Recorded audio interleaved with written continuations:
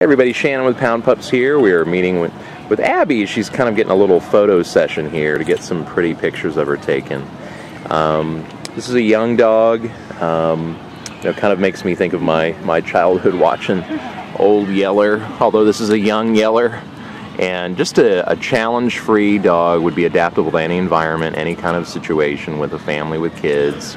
Um, or yes, you know, maybe just a single or a, a couple out there in the you know, an apartment or, or a house, I think she would fit right in. Um, she came in really scared, kind of confused about her environment, very, very, you know, timid at first. But in the week that she's been here, you know, she's met a lot of nice people and been shown a lot of love and affection.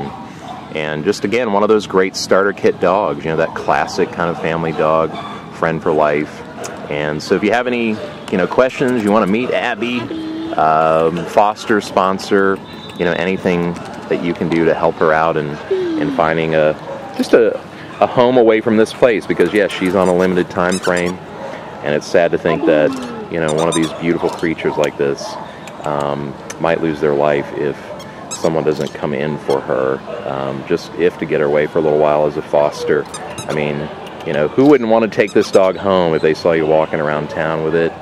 They'd run right up and you know sign right up for her. So yeah, if you want to, just contact us with the phone number below the video. Go on the Pound Pups Facebook page and you know, make make Abby uh, a part of your world. Thanks, Abby.